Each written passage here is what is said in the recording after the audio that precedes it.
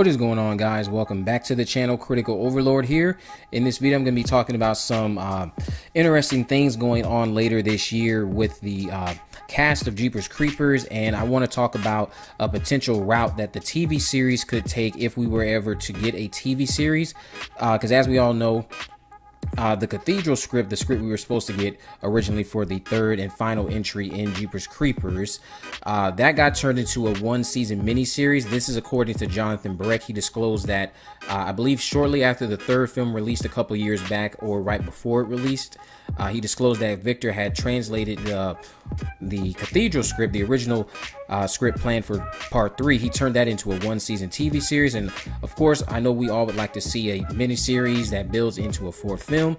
Um, but what I, I want to talk about uh, another potential route we could take for a miniseries based off of some tidbits that I, am pretty sure uh, these are old tidbits that Gina Philips has disclosed uh, right before Jeepers Creepers 3 had came out in theaters, uh, she disclosed a few tidbits regarding the future of the franchise, talking about Jeepers Creepers 4, and she's already she essentially confirmed that she did read the script and everything. If this is all stuff you've heard before, uh, that's that's fine. We're gonna get into some new, fresh stuff uh, towards the middle section of this video.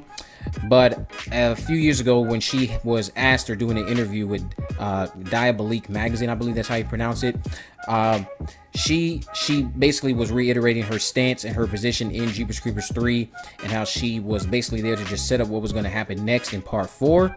Uh, and she did disclose that Victor Salva has written what happens from the second after the conclusion of Jeepers Creepers 3. So Victor has the script ready for part 4, which is going to pick up right after part 2, uh, hopefully in the barn with the Taggarts. Uh, and then she went on to say that she thinks that's all she's allowed to say about it, but he wrote it in such detail and he had a lot of flashbacks to what happened over the years that made it very easy for me.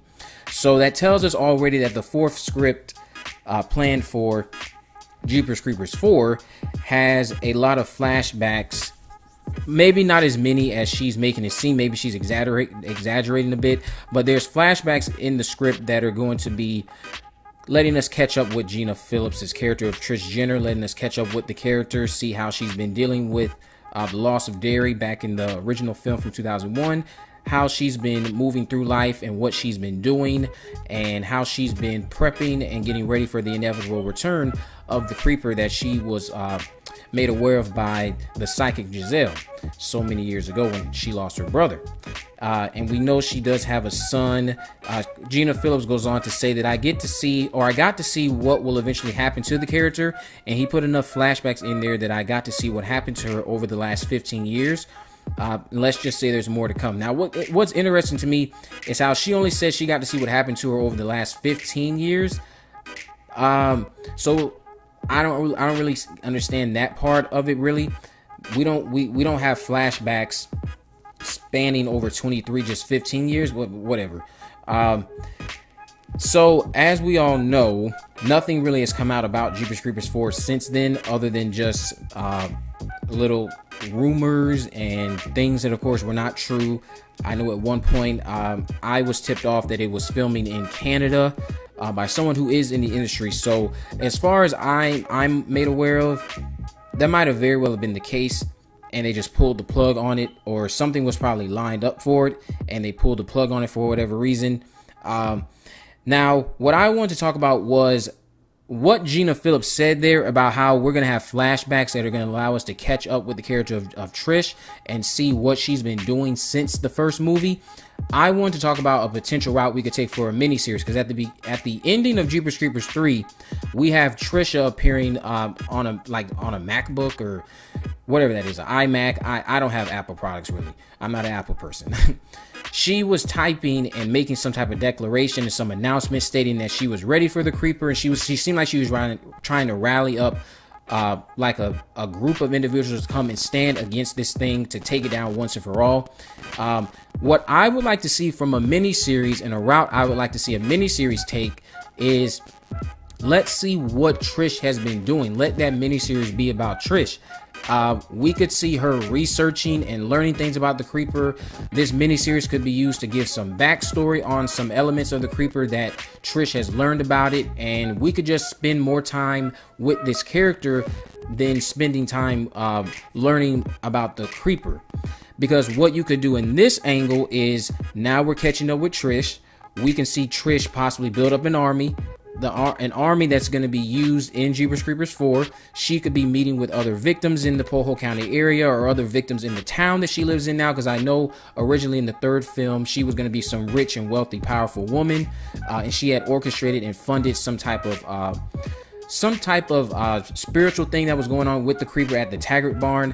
So maybe she has been recruiting and reaching out and discovering things about other attacks that the creeper has, the creeper has done. Because uh, at this point, the internet is very popular. So maybe she's come across things like websites where people are sharing strange encounters and she's found a way to connect with these people and she's learned and connected the dots that this must have been the thing that took her brother 23 years ago and maybe she has found even images of it online of people saying uh, they found something strange in the Poho County area. And this could be just pictures that were taken several years ago that they never got to share anywhere because of the fact that social media wasn't as big then. But now they're sharing old photos from 2001 all over the internet. Images of spottings of the creeper could be there. Um, people that are just coming out and sharing stories about strange encounters uh, with a winged bat uh, with a winged looking bat thing. Um, we could just see how Trish has been connecting and reaching out to those who have potentially been harmed by the creeper or have lost someone to the creeper, and she's been rallying an army against it for these past 23 years. Uh, we could see her do all these things, and while we're doing that, we're at the same time learning new things about the creeper. We're learning that his his resume of victims and the people he's left brokenhearted is very long. We can see that he has a lot of people who want to take him out for good. We might also be able to connect with some old past characters from the second film. Maybe she reaches out to some survivors from part two, such as Double D, maybe Izzy, who is still alive somehow. Rhonda, uh, other characters that we could be connecting back with Bucky, several people, uh, Sergeant Tubbs, um, several people that she could be reaching out to. Maybe she even has a scene where she reconnects with Jezelle because we know Jezelle and Trish I feel like they they weren't on the best of terms after what happened with Darry.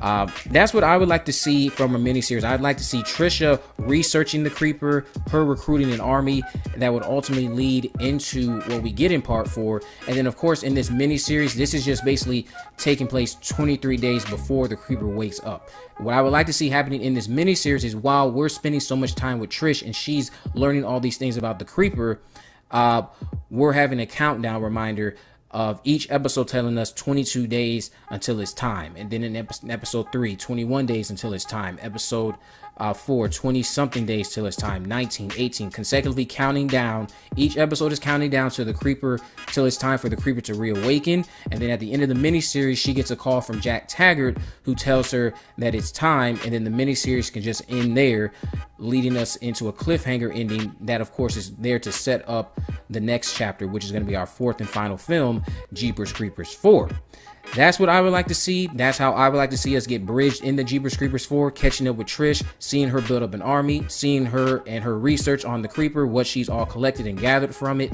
seeing her um, get a phone call from the Taggarts to announce that it's time and it's time for the Creeper to reawaken. Then she heads that way to the Taggart barn, and the series, the, the, the one season mini series, can just end there with her on the way to the Taggart barn or something. I think that would be pretty cool. Uh, that's just me. But also, I want to talk about something that's going on in Texas later this year. Now, this month, there was supposed to be a convention, the Texas Frightmare Convention. Justin Long, Gina Philips, and Jonathan Breck were all supposed to be there, and it was supposed to be a cast reunion. Now, if I'm a betting man, of course, they're going to be asked several questions regarding Jeepers Creepers. We could have been getting something. We could have. This could have been the month where we could have gotten some news regarding Jeepers Creepers 4 because as of right now, we we aren't getting anything. Victor Salva is pretty much in hiding. We don't we don't hear too much ever from Victor Salva. Uh, this month they were going to have a reunion at this Texas Frightmare convention with all three of them on a panel, I believe. Maybe not all together as a cast, but I believe they were going to do that because it was advertised as a reunion. You can look it up. The Texas Frightmare convention. All three of those people were going to be there. Gina Philips, Justin Long, Jonathan Breck. All three of them were going to be there. Uh, So, what I would like to see is or what I what what makes me kind of upset is how this month we could have gotten some news on a possible fourth film. We don't know what questions they could have been asked. They could have been asked something about a fourth entry, and we could have gotten some tidbits, maybe a little bit of other things that they were expecting to get out of a fourth film. Maybe they could have shared some other things about the script that they all are aware of. Um, and maybe Trish or Gina could have answered some things regarding what what's going on if she's been in communication with Victor Salva, but that's all been postponed till late in September. So around September sometime I I feel like everyone should be on alert for any potential news that might come out of that convention. Uh, if we get any updates on Jeepers Creepers 4 when the cast does have that reunion. But let me know what you guys think about all this down in the comment section below. If you haven't already, make sure you subscribe and turn on post notifications so you never miss a video. In the description, I'll have links on my social media accounts, my Facebook, Twitter, and Instagram. You can message me there to let me know if there's any movies, news, or reviews you would like me to cover in the future. With all that in mind, guys, I will see you in the next video.